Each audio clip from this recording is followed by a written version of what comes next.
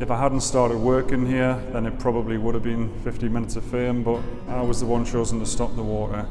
And then sort of 30 years on, I was chosen, like job-wise, to make it start again. Both me and, and the dam technician, we both we both make water releases. When they finished uh, building Bakethin Reservoir, which was the one I, I, um, I closed, dropping the sluice gate to make the, um, the water back up, um, that was back in 1979. It was Year of the Child.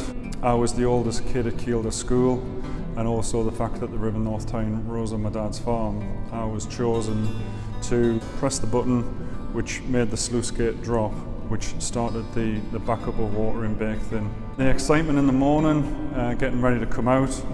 I remember I had a, a new coat which I was getting for Christmas and this it was it was sort of early December and I was pleading with my mum to let us wear the new coat because obviously I was going to be having a picture taken and, and the cameras and stuff would be there and she, she wouldn't give in.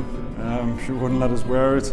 But all of the cameras and video cameras, um, all photographing and, and, taking shots and asking for, for me to look which way, almost paparazzi like. The Queen, um, she came and opened the reservoir on the 26th of May 1982. So that was a bit like three years after um, I closed the sluice gate at Bakethin.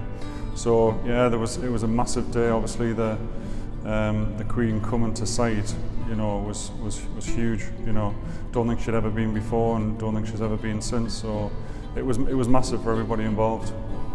That day I was actually um, a Kielder scout and I was asked if I would go down and be one of the, the scouts who would paddle around at Bakethin on one of the boats.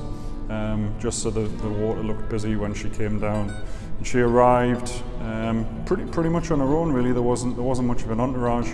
She raised a flag at Hawkhirst, had a little bit of a chat to the guy who, who um, ran the scout camp and then she turned around and left so that was as much as I saw.